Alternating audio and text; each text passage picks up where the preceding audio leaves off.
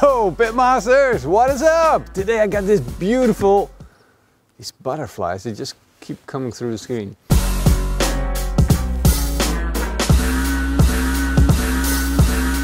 Today we're going to take a look at this beautiful Black Angus Creekstone American Prime T-bone.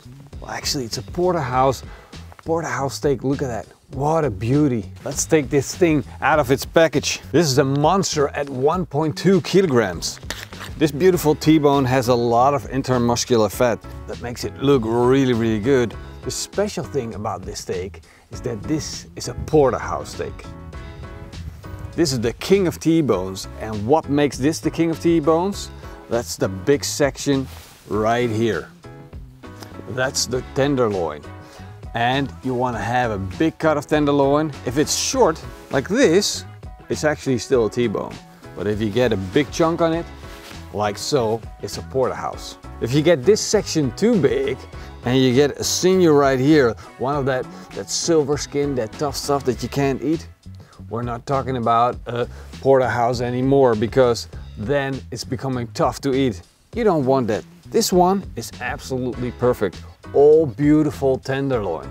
This is my first American porterhouse, a Black Angus porterhouse from the Creekstone farm and man does it look good. I always love to try new steaks. It's so important where your steak comes from. You need to find out how they finish their, their cows. Do they let them run in the pasture? Do they finish them off in the stable on grain? How do they get them so fat and so beautiful and so tasty? You need to figure that stuff out. That's why we're gonna try this one today and see if they do a good job.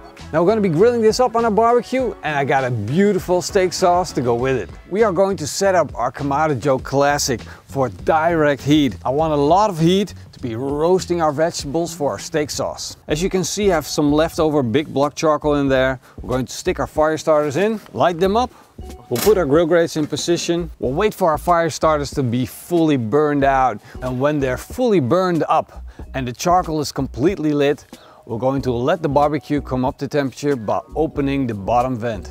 As we are going to be working on our sauce first, we're going to leave the lid open and put in a pan. Our pan is now hot and we're going to add some oil. I like to use a little bit of sunflower oil for my sauces. To the pan we're going to add red onions, two garlic cloves, and seven tomatoes. We want the tomatoes, the red onions and the garlic to blacken because that adds flavor to our sauce. And this is really important because we want steak with a barbecue flavor and blackened is the way to go. Look at all this flavor that we build up. It's crazy. Our tomatoes have blackened, our onions are caramelized, and our garlic has turned garlic. garlic has turned soft. Now we're going to put this in our blender. Carefully. You don't want to waste anything. Come on, get in there. Now we're going to grind this fine. And we want this to turn into a nice and really, really soft puree. Let's take a closer look. Ooh, look at that. That looks really, really good. Now, of course, this doesn't have much flavor other than tomatoes, garlics, and onion. But now we're going to add our secret ingredients. Secrets! Secrets! Spoiler alert. One of the secret ingredients is Mr. Lee Perkins' sauce. He's been working on this for a long time. We're going to add a tablespoon of that. Now Pitmaster X his own favorite secret ingredient. You know what this is, comment down below. We're gonna need three tablespoons of this. And four tablespoons oak barrel aged vinegar. Three pinches of salt. Now we're gonna mix that all up and perform the also important taste test. Ooh, it's good, but it needs a little something. It definitely needs more heat. Time to get out Uma Thurman. As you can see, Uma is not doing all that great here at the barn. She's uh, either in need of a little TLC or we're just gonna rip her and take all of her fruits. It's been a little bit too wet, too dry, a little bit of all of it too much. Couldn't handle it. It's, it's like a, a Dutch pepper plant. Oh well, we got three good peppers out of her. So we're just gonna wash these off, put them in the blender and let them spicing up our sauce. There it is. There she is. Hello, Uma. oh, I'm still not really happy. I'm getting tomatoes, I'm getting the onion, I'm getting the garlic, it's really good. Maybe a little bit more salt, but mainly I need more acidity to balance out our steak. So I'm going to add our Isuzu, I never get this right, Yuzu sap. There we go, Yuzu juice from the Yuzu plant. And it's almost like lime, but better. So we're going to take two tablespoons of that. Whoa, this is perfect.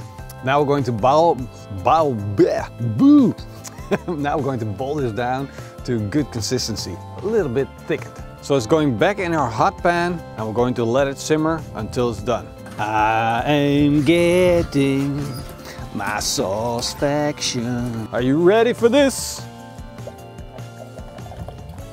Oh yeah. This sauce ain't for chickens. Morrison, tell the chicken it's a steak sauce. Whoa, look at that. I'm so happy with how this sauce turned out. I'm just gonna set this aside, let it cool down a bit while we are going to work on our steak. Since we got ourselves the big thick steak, we're going to set up our Kamado Joe Classic for indirect heat. So I got my heat deflector, I'm gonna place that in the grill. Careful now, don't burn your fingers. Ouch. Put the grill grate back in and set the grill for a temperature of 140 degrees Celsius. So we're gonna close the top vent to the first stripe and the bottom fan to two fingers open. Showtime! Time to put this thing over indirect heat. There we go. Look at this beauty. I got the fat side toward the heat that will protect it from radiation heat. Our steak has reached the desired temperature of 54 degrees Celsius. Look at this beauty. At this point we can eat it, it's fully cooked. But of course, we want to add flavor by adding that crust. First, we're going to let it rest, let it cool down a little bit, and then we're going to work on that crust. Look at this beauty. Ooh-wee. Now we want to have a maximum amount of direct grilling surface. So I'm taking out this heat deflector, setting it aside, and tuning our grill to the highest heat possible.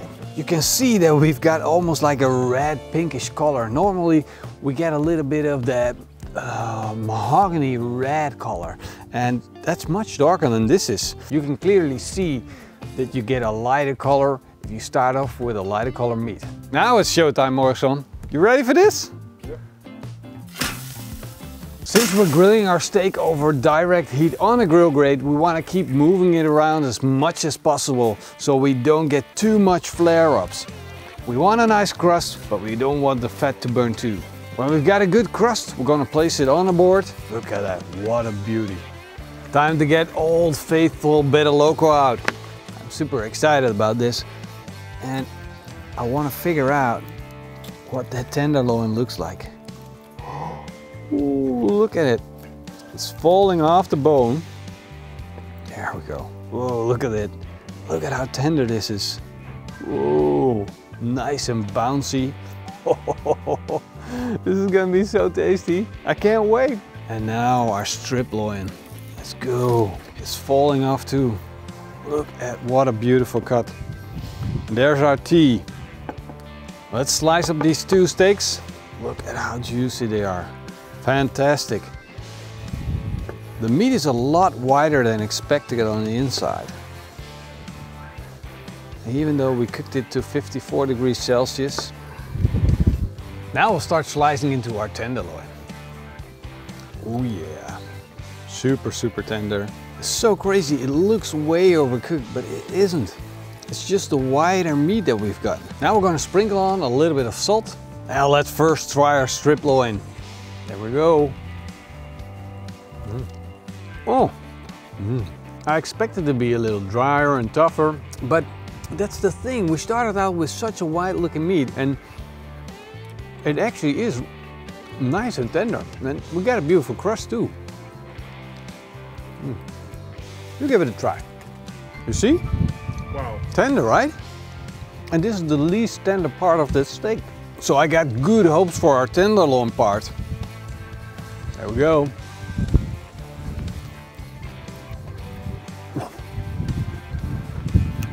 That is melt in your mouth good. I love it. Tender wise, tenderness wise, I don't know, what did you do with these animals? They're so tender. But now let's talk about flavor. Because even though this steak is super, super tender, the flavor is not very strong. You don't get that rich beefiness flavor. But I, I kind of don't mind. It's kind of like sometimes you have these really strong, dry aged steaks. Sometimes you have these really fat marbled finished steaks that are, I don't know, strong and rich in flavor with the deep beef flavors. And sometimes you got these grass, obviously grass-fed steaks which are really lean, but you get this real nice cow moo grass flavor. This doesn't have that. This doesn't have a real pronounced flavor. But at the same time, it's freaking awesome. It's freaking tender. So still, it's a good steak. Now let's try it with our steak sauce because the steak sauce is amazing. The steak is amazing. Let's try. Mm, that's it. From now on, I'm bringing my own steak sauce to these steak restaurants. This was kind of an exciting steak to review.